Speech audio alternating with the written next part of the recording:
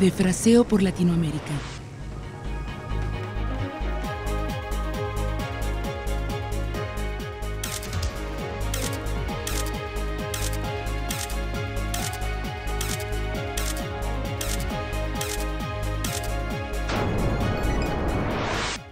No cabía duda, el mejor escritor era el que de un asunto baladí hacía una obra maestra, un objeto de arte perdurable.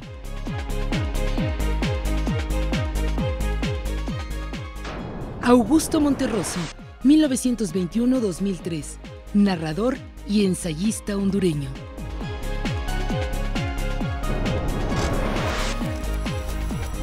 ILSE, el conocimiento nos transforma.